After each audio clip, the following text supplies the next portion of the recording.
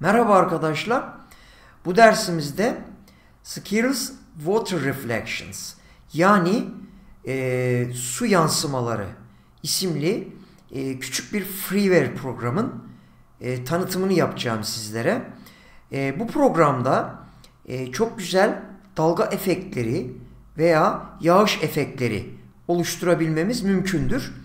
E, şimdi bu programı sizinle beraber gelin tanıyalım. Öncelikle bu programı çalıştırdığımızda böyle bir ekran çıkıyor. Görüyorsunuz.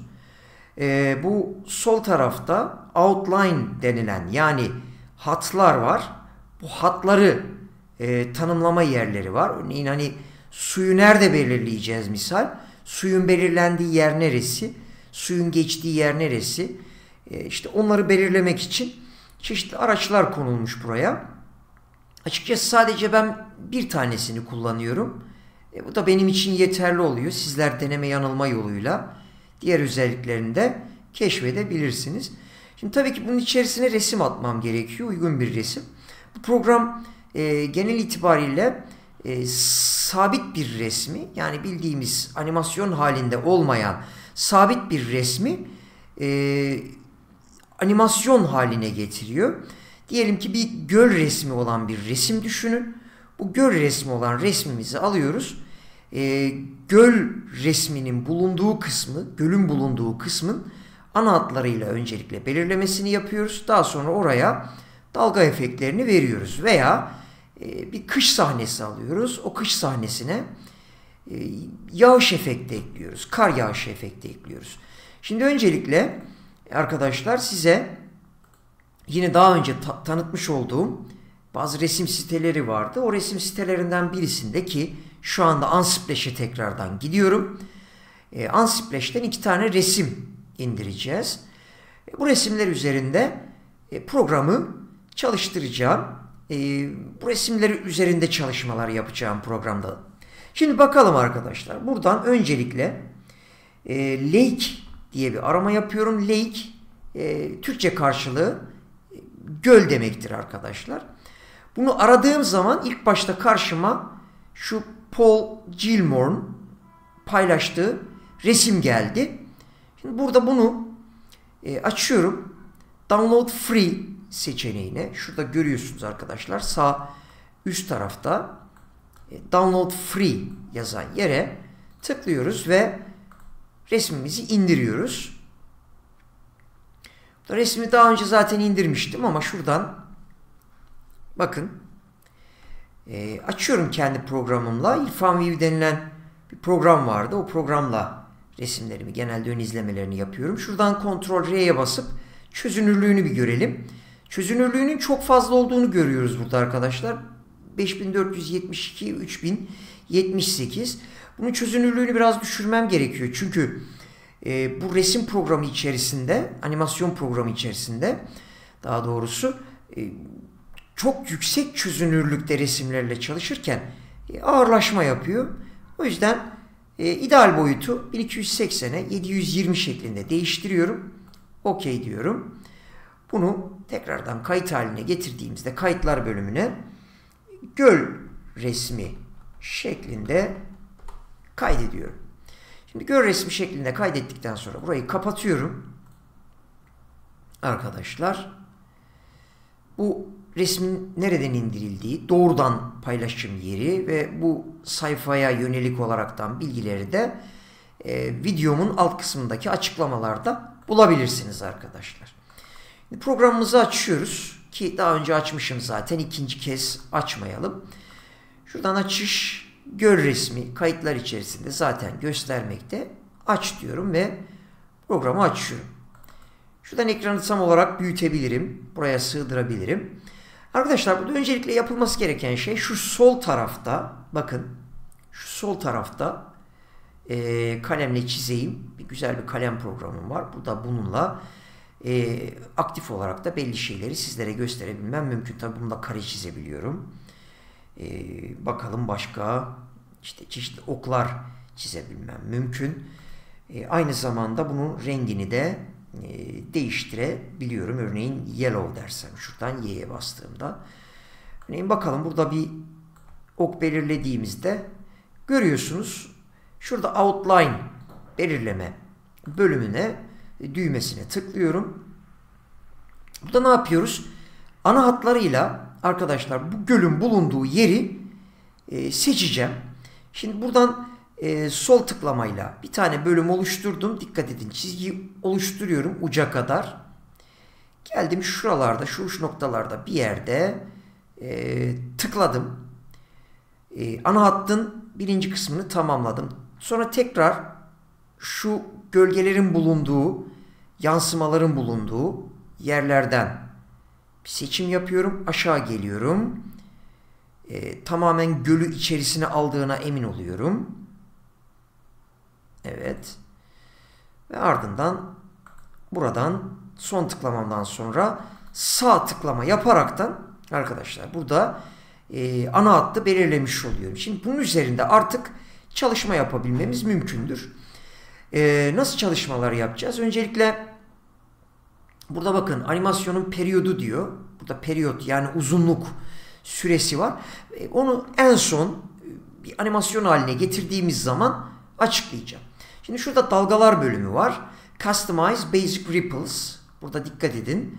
E, işte dalgaların e, neyini yapın diyor artık. O şeklini belirleyin gibi durum söz konusu. Bakalım burada hep beraber arkadaşlar size bunun hakkında bilgi vereyim. Bakın şuradaki oka e, görüyorsunuz. Şu bölümde bir ok var. Bu şöyle bir kırmızı olaraktan e, belirleyeyim. Daha doğrusu şöyle mavi şekle getireyim. Şurada dikkat edin. Bir tane düğmemiz var. Bununla e, buna tıkladığımız zaman, düğmemize tıkladığımız zaman e, denemeler yapıyoruz. Örneğin bakın A dalga tipine bakın. A dalga tipi bu şekilde. E, Tabi burada ben A dalga tipinin e, göl şuraya dikkat ediyoruz arkadaşlar. Göl gücü diyor. Yani dalga gücü daha doğrusu. E, dalga gücü wave strength. Bunun değerini 50 olarak vermiş. Ben bunu artıracağım misal. Şuradan bakın. 70'e getirdim. Bir daha deniyorum. Ama bu sefer ne oldu? Dalgamız daha bir e, hareketli hale geldi. Şimdi burada daha fazla deney yapmadan arkadaşlar burayı kapatıp bunu bir GIF dosyası halinde çıkartayım isterseniz. Örneğin sadece bu dalgaları gösterecek şekilde e, deneme 1 şeklinde bir isimlendirme yapayım buraya. Deneme 1. Evet 15 boyutunda olsun. 15 hız değerinde olsun daha doğrusu. Animasyon karesinin hızı 15. Evet animasyon tamamlandıktan sonra burada uyarımızı verecek. Ben burada kayıtlar bölümünden deneme 1'i bir açıyorum.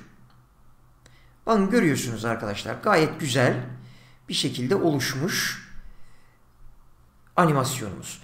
Tabi bunun çeşitlilikleri var. Onları da bir deneyeceğiz beraberce şimdi sizinle. Ee, bakın tekrardan göl dalga e, çeşitliliklerine geliyoruz. Burada düzenlemelerine geliyoruz. B dalga türünü seçiyorum. Burada arkadaşlar dikkat edin artık e, dalgaların belirlendiği yer var. Dalga türlerinin motion type hareket türü dediği yerler var. Buradan ne yapacağız? Bunu belirleyeceğiz. Şimdi B'ye baktığımız zaman nasıl bir dalga türü var? Bir yatay bir dalga türü var. E, C'ye tıkladığımda C'deki dalga türüne bakalım. E, karşı taraftan yani şuradan dikkat edelim. Karşı taraftan bu tarafa doğru gelen bir dalga türü var sanki. Tabi bunun şeklini değiştirebilmek mümkün. Dalga yönünü değiştirebilmek mümkün. Burada D'ye gelelim. D'de dalga araları baya bir fazla. E'ye gelelim. E'de ise iki tane büyük kendine has bir, bir dalgacık oluşturmuş. E ben arkadaşlar istediğimi buradan belirleyebilirim. İsterseniz A dalgacığı üzerinde e, denemelerde bulunalım. Bakın A dalga türü böyleydi. Şimdi burada wave strength dediği neydi? Dalga gücüydü. Dalga gücünü iyice artıralım. Bakın tabii ki e, çok daha hızlı bir hale geldi. Burada wave separation denilen bir şey var. E, ayar var. Dalga aralığı gibi bir ayar. Bunu biraz artıralım. Bir bakalım nasıl bir sonuca ulaşacağız. Evet. Çok da dalga yok. Dikkat edin. Hani dalga var ama dalga aralığı çok arttı. Bunu azaltacağız o zaman. Bunu şöyle azalttığımız zaman ne görüyoruz? Dalga aralıklarının azaldığını görüyoruz. Dikkat edin. Bu şekilde bir animasyonda belirleyebilmemiz mümkün. Veya bunu birazcık daha küçültelim. İyice dalga aralıklarının azaldığı bir animasyon haline geldi. Şimdi buradan bunu bir GIF dosyası halinde çıkartayım arkadaşlar tekrardan. Evet deneme 2 GIF olarak belirleyeyim. Burada dediğim gibi frame rate çerçeve oranı yani burada e, değeri küçülttüğümüzde e, animasyonun hızı azalıyor. Artırdığımızda animasyonun hızı e, artıyordu. Okey diyelim. Bir deneme daha yapalım arkadaşlar burada. Ve denememizi görelim. Evet tamamlandı. Geliyoruz burada deneme 2'ye tıklıyoruz. Bakın arkadaşlar gölün artık görüldüğü üzere dalgacıkları çok daha belirgin bir şekilde ortaya çıktı. Dalga aralıklarını birbirine yakınlaştırmış olduk. Şimdi gelelim tekrar programımıza. Tekrar araçları açalım. Üzerinde biraz daha denemeler yapalım. E burada perspektif diyor arkadaşlar. Perspektife şöyle bir bakalım tekrardan. 50 değeri vermiş. 50 değerinden şöyle 90'lara bir çıkartalım. Bakalım ne yapıyor. Evet. Çok da belirgin bir fark var mı? Perspektifi sıfıra indirdiğimiz zaman bir bakalım. Evet. Eski halini alıyor gibi. Şuradan dalga gücünü 50'ye wave separation'ı 40'a aldığımız zaman bir bakalım nasıl bir şey çıktı ortaya. Evet. Dalga gücünü birazcık daha artırabilirim. 80'e getirelim. Bunun aralığını biraz daha daraltalım. Şöyle bir şey olsun. Perspektifi de tekrar 50'ye yakın bir hale getirelim. E, blur var. Blur'u bir artıralım bakalım. 5'e kadar getirelim. Nasıl bir efekt yapıyor Blur? Ha, Blur'da dikkat edin arkadaşlar. Sanki böyle bir yağlı boya tablosundaki gibi bir efekt verdi. E, gayet hoş aslına bakarsanız. Bununla ilgili bir tane e, GIF animasyonu deneme 3 şeklinde almak istiyorum. GIF'e tıklıyorum. Evet deneme 3 gayet güzel. 15 şeklinde tekrardan güzel bir animasyon alıyorum. Evet tanımlandıktan sonra e, burada deneme 3'e tıkladığımızda görüyorsunuz. Üzerinde bir blur efekti yani bir buğulanma, bir bulanıklık efekti oluşturdu. Bu da gayet e, hoş görünüyor. Tabi daha bir böyle e, sanatsal çalışmalar yapmak isterseniz bir web siteniz varsa veya işte grafik tasarım siteniz varsa bunu e, flash videosu haline getirip flash animasyon haline getirip sitenizde görüntüleyebilirsiniz. Ayrıca arkadaşlar devam edelim. Bakın bulur güzel böyle bir efekt veriyormuş. Bunu 1'e getirelim. Tekrardan bir deneyelim.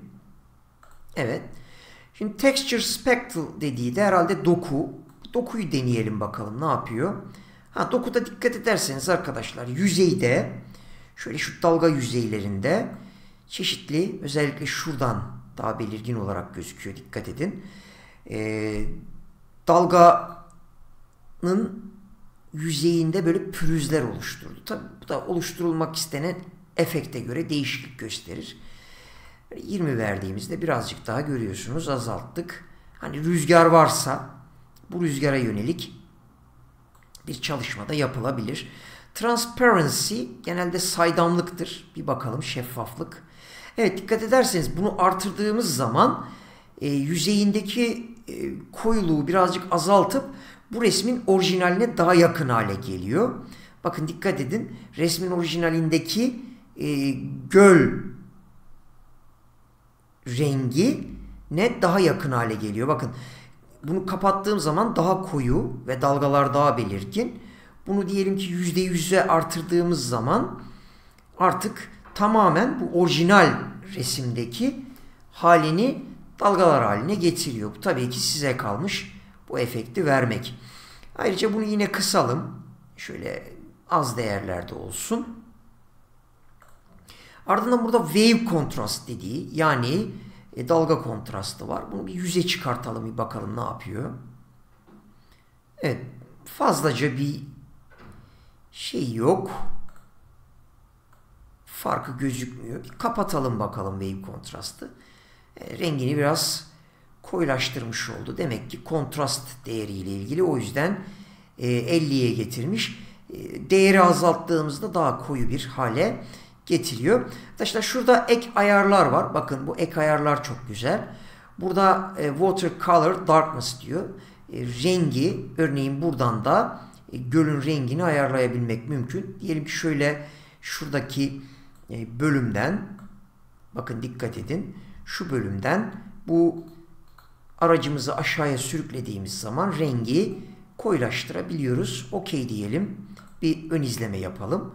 Bakın dikkat edin artık gölün e, rengi tamamen koyulaşmış oldu. Buraya tekrar geliyorum. Açıyorum. İstersek e, dalga rengini de belirleyebiliriz. Mesela gölün rengini daha bir yeşilimsi, koyu yeşilimsi bir hale getirebilmek de mümkün olabilir. Bir deneyelim bakalım.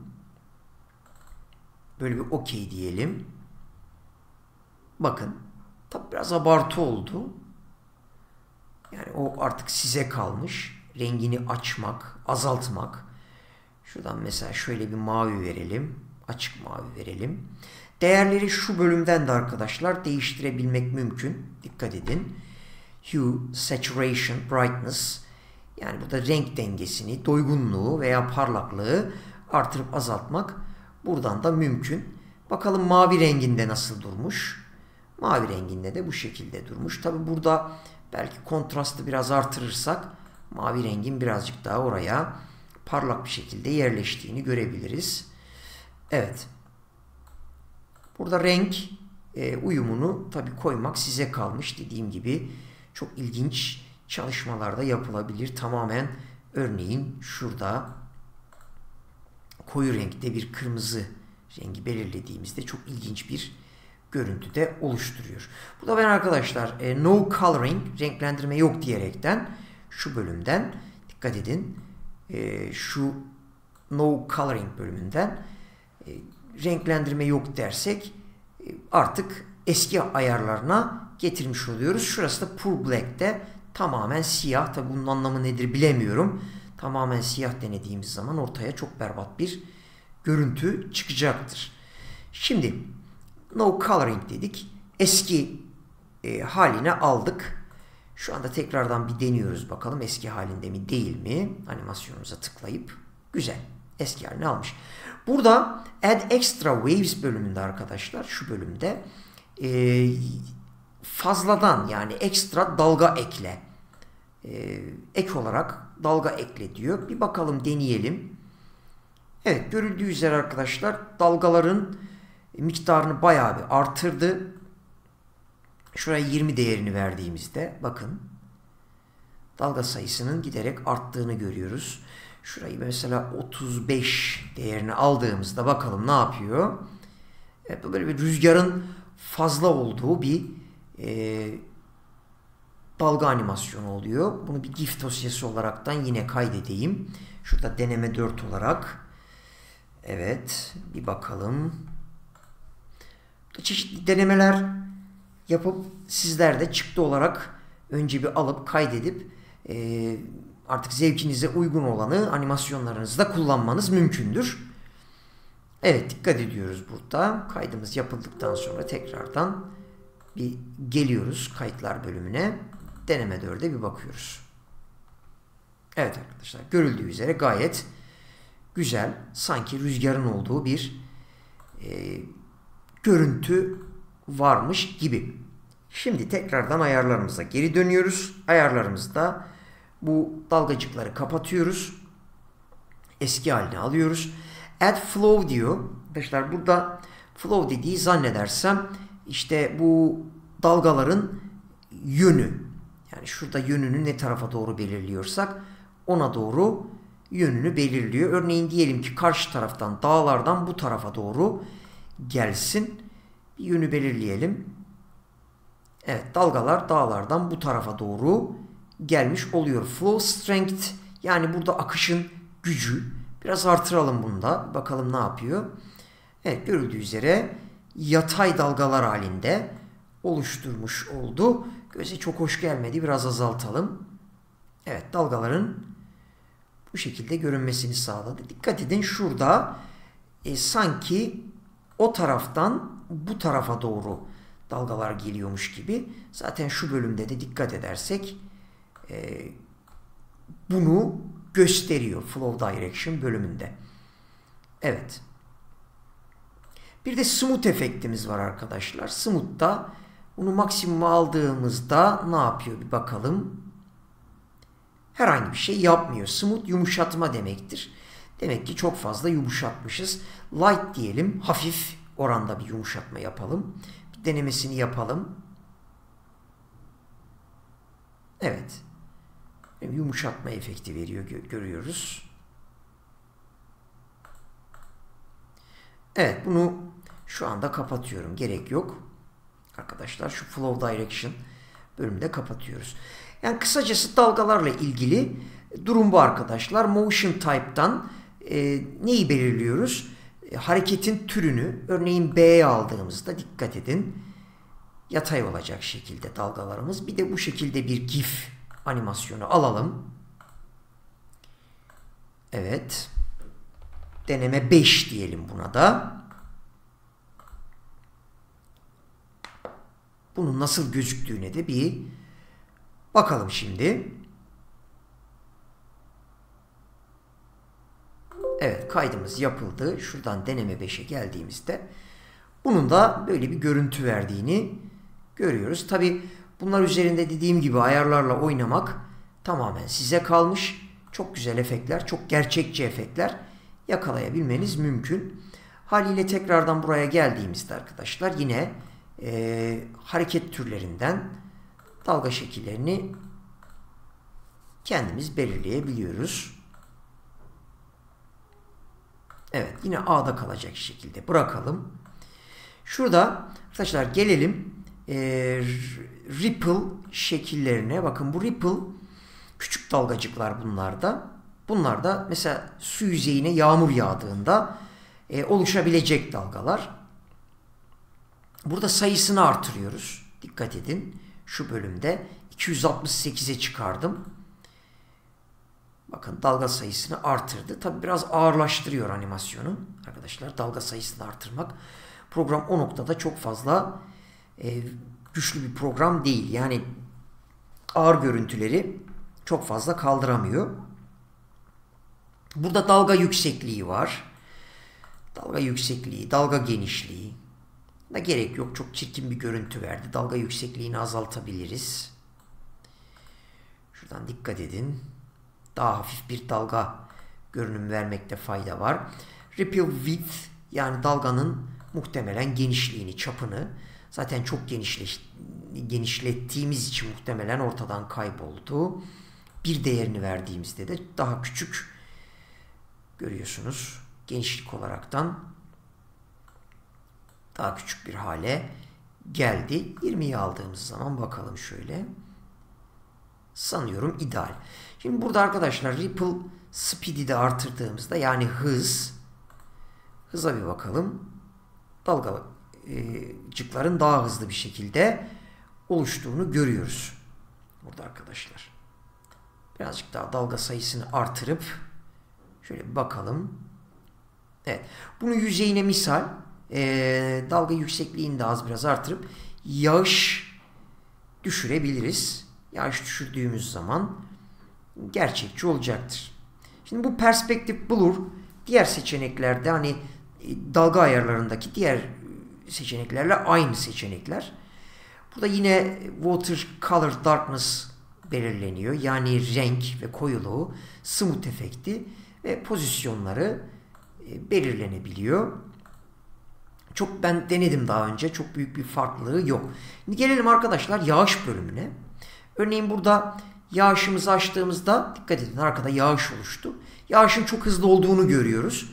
Bu yağışı e, hızını azaltabiliyoruz. Hız nerede? Hız şurada speed hız demektir arkadaşlar. Şu bölümde dikkat ediyoruz. Hız evet şu bölümde hızımız. Buradan hızı azaltıyoruz. Bakın yine çok hızlı olduğunu görüyoruz. Birazcık daha azalttığımız zaman evet görüldüğü üzere bu biraz daha uygun. Ee, az daha artıralım. 0.06 şeklinde. Örneğin böyle. Şimdi dalganın e, uzunluğu 70 değeri vermiş. Bunu örneğin şöyle bir artıralım. Dikkat edin dalga uzunluğunu belirlemiş oldu. Azaltalım.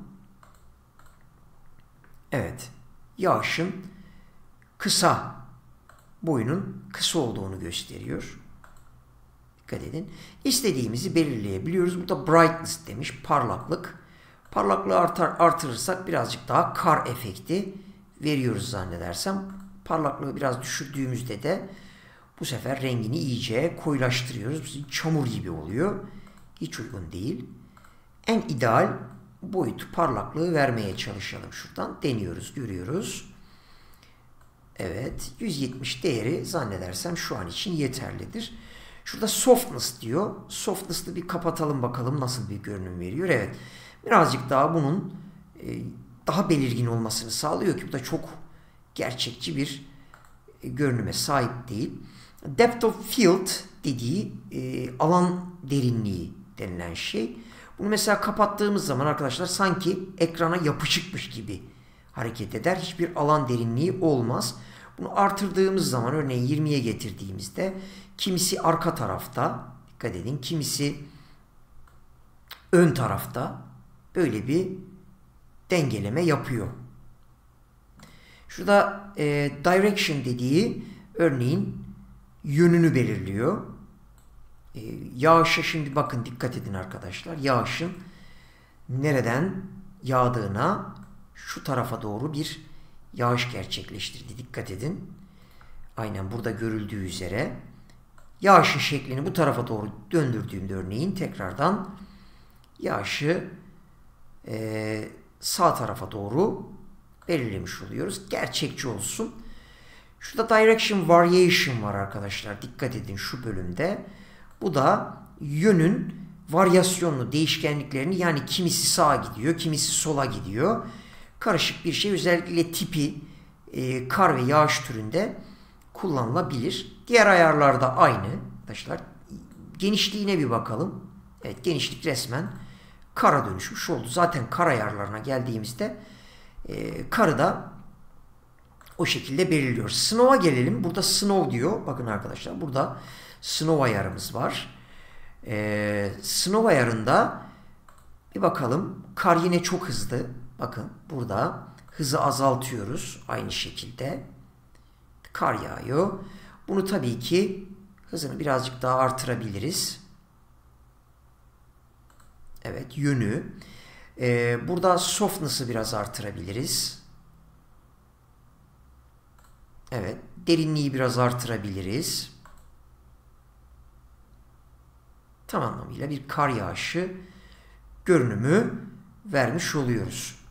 Buradakiler de outline dediği arkadaşlar. Mesela seçtiğimiz zaman sadece bakın sadece bu e, göl outline yani ana hat dediğimiz bölgeydi. Bu gölün bölümünü e, seçiyor. E, saf dışı bırakıyor yani. Bu bölümü saf dışı bırakıyor. Diğer bölümleri gösteriyor. Dikkat edin. Evet yani çok uygun ve gerçekçi değil. Ee, sadece outline içinde dediği de sadece gölümüzün içerisinde görüyorsunuz. Bu da çok komik. Sadece gölün içerisine yağıyor yağışımız. Diğer yerlerde herhangi bir yağış gözükmüyor. Bu da komik tabii ki çok gerçekçi değil. Evet biraz hızını artıralım. Şöyle tipiye yakın bir görünüm verelim diyelim. Tabii bunu kaldıracağız unuttuk. Evet şurada oluşturalım. Şimdi arkadaşlar ben burada e, programı kapatıp yeniden açacağım bu kar efekti için. E, kapatıyorum. Tekrardan şurada e, neye geliyorum? Yine Unsplash sitesine geliyorum. Burada bu sefer winter diyerek winter kış demektir arkadaşlar. Bir kış resmi arıyorum. Burada kar yağışı için bize uygun olacak bir resim bakıyoruz. Evet. Mesela şu olabilir. Bakın zaten arkada da kar yağıyor. Bu resim olabilir. Bu resmi bir seçelim. Tıklayalım. Şuradan tekrardan arkadaşlar download free bölümünden bakın dikkat edin. Ee, şu bölümden tıklıyorum. İndiriyorum. Klasörüne gidiyorum. Çözünürlüğünü birazcık azaltıyorum. 1280'e 1707 şeklinde aynı yerine kaydediyorum. Yalnız bu sefer kış resmi şeklinde bunu kaydediyorum. Ardından aşağı geliyorum. Tekrardan programımızı çalıştırıyoruz. Bu sefer kış resmini seçiyorum. Aç diyorum. Şu ortaya basıp bunu tam anlamıyla büyütüyorum. Burada artık arkadaşlar kar efektini e, verebiliriz. Dikkat edin. Şurada yağış efektlerinde karı seçiyorum. Run diyorum. Bakın dikkat edin burada çok fazla belirgin değil. Çünkü genişliğini birazcık büyüteceğiz. Örneğin bakın hızı yine e, çok fazla. Evet hızını biraz azaltmış olduk. E, genişliğini de birazcık küçültüyoruz. 12 değerine getiriyoruz. Şu şekilde. Şuradan softness'ı biraz artırıp örneğin tipi görünümü verebiliriz. Evet görüyoruz. Sabit resmimiz artık bir animasyon haline aldı. Derinlik oranını biraz artırıyoruz. Yağış yönünü biraz şöyle aşağıya doğru alıyoruz. Dikey yağsın. Evet varyasyonu biraz artırıyoruz. Çeşitli yerlere yağsın. Evet görüldüğü üzere kar miktarını da biraz artırabiliriz şuradan. Evet görüntümüz gayet güzel oldu. Bunu bu sefer arkadaşlar ne yapıyoruz? Ee, yeniden şurayı kapatarak e, animasyon haline geliyoruz. Bir bakalım şurada. Run diyor. Basic Ripples Only diyor. Rain Snow Only şekline getiriyoruz. Burada görüyoruz. Bakalım bunu şey olarak alabiliyor muyuz arkadaşlar? E, GIF olarak. Mesela AVI diyelim. Bu sefer de bir video görüntüsü şeklinde almaya çalışalım. Buraya e, kış deneme kış deneme diyelim. AVI e, videosu olarak alalım. E, 15 kendi varsayılan e, çerçeve hızı, kare hızı e, tam kareler sıkıştırılmamış diyor. Burada istediğimiz kodeki seçebiliriz. Mesela şurada çeşitli kodekler var. Microsoft'un MPEG 4 kodeğini bir seçelim bakalım. Yapacak mı? Yaptı. Şuradan kayıtlar bölümüne gelip kış denemeyi bir açalım. Evet görüyoruz arkadaşlar. Burada videomuz oluşturuldu. Peş peşe tabi bunu verirse animasyon şeklinde karşımıza çıkar. Burada dikkat edin çok süresi az. Ee, bunu istersek süresini artırabiliriz. Süresinin artırıldığı yer neresiydi? Periyot bölümüydü arkadaşlar. Şurada ee, bir bakalım. Şurada animasyon. Evet periyot galiba şuydu aynı şey. Mesela bunu 100 değerine getirdiğimiz zaman e, artık uzunluğunu artırabiliyoruz. Şuradaki bölüm nedir arkadaşlar? Bundan kısa bir bilgi vereyim. Burada bakın. Basic Ripples Only yani sadece dalgalar. Şu ikincisi arkadaşlar e, ring dediği yani halka dalgacıkları. Hani su yüzeyine düşen şu şekildeki dalgacıklar. Burada sadece yağmur ve yağ, kar. E bu da hem dalgalar e, hem dalgalar hem e, işte bu ring veya halka dalgaları aynı şekilde burada da görüyoruz. Normal dalgalarla e, kar veya yağış halka dalgacıklarıyla kar veya yağış efektleri şeklinde dışarıya alabiliyoruz. Şu anda tabii ki ben hangisinin üzerinde uğraşıyorum? Da kar efekti üzerinde uğraşıyorum. Rain Snow Only diyerekten aynı şekilde ismini kış deneme 2 olarak belirliyorum. Biraz daha uzun olacak. Burada bu çıktığı alma süresi de artık artıyor. Çünkü süresini uzattık. Haliyle süresini uzatınca e, animasyonun boyutu da artacak arkadaşlar. Bakın bunun boyutu ne oldu? 3 MB oldu. Bunun boyutu 1 MB. Artık 6 saniye boyutunda oldu videomuz. Dikkat edin 6 saniyelik bir video oluştu. Yani bir noktada e, resimden video oluşturma, resimden animasyon oluşturma e, işlemleri yapıyor diyebiliriz. Tekrar programımıza geldiğimizde dediğim gibi daha önce bunu flash e, videosu olarak da e, aktarabilmek mümkün. Bir deneyelim. Şurada e, flash deneme ismi verelim bir bakalım. Kaydet diyelim. Burada çeşitli yine kaliteler veriyor. Burada işte sıfırdan yüze kadar e, imaj kalitesi önemli. Tabi artırıp azaltmak size kalmış. Bir deneyelim bakalım çıktısını. Zannedersem bunu HTML dosyaları içerisine koyduğumuzda flash filmi olarak çalışır hale gelecektir. Şuradan kayıtlar bölümüne tekrar geldiğimde bakın flash denimi olarak.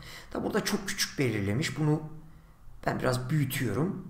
6 saniye boyunca. Artık bu bir flash filmi arkadaşlar. Evet. Çeşitli çıktılar şeklinde alabilmek mümkün. Dikkat edin. Resimler arasında geçiş yapıyorum. İkinci animasyonumuz buydu. Üçüncüsü daha sanatsal görüntü verebilmek için animasyonumuz buydu. Dördüncüsü dalga aralıklarını kısalttığımızdaki. Beşincisi dalga türünü değiştirdik. Bu zaten flash görüntümüz. Ve ayrıca kış video denemelerimiz. Dediğim gibi sizler de e, Unsplash sitesinden çeşitli resimler bulup onlara ekleyebilirsiniz. Örneğin burada kış resimleri birçok kış resmi var.